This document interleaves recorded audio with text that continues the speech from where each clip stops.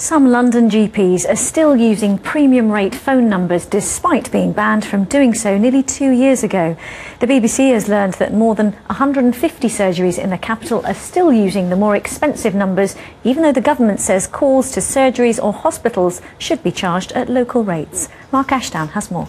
Ask the doctor you choose for an application. An appointment with a GP. For most people, it's their first contact with the NHS. But for thousands of people across London, it's apparently a costly experience.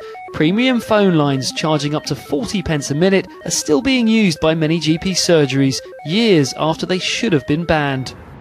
This surgery in Hammersmith was one. Until recently, it used an 0844 number, but has now switched to a cheaper service.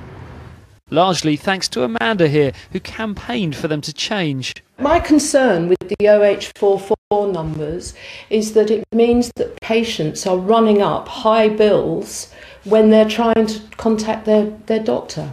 Do you think they know about them? Is that part of the problem? They're not aware? I think at the point that you're ringing your doctor, it's the last thing you're thinking about. That was true for these callers to BBC Radio, who'd simply phoned their local surgeries. I was on hold for it was about five to six minutes. I noticed that I've been charged over seven pounds for this one call. The following month, when we got our uh, bill, it was ninety pounds. According to Telecom's campaigner David Hickson, up to 175 surgeries in London still use premium rates. He says some might mistakenly believe they're trapped in long contracts, but could simply change to a cheaper 03 number. The solution some have found is worrying. What a number of surgeries have done is come along and said, well, okay, if you want the full service, you call the expensive number, but out of respect for those who want to well off, we're going to offer them an alternative service, but with only one line. So at busy times, your chance of getting through on that number are very, very poor. That is the awful image of a two-tier NHS.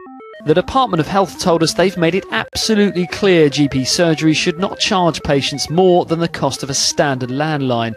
NHS London says 90% of surgeries in London do not use 084 numbers. They're trying to encourage more to stop.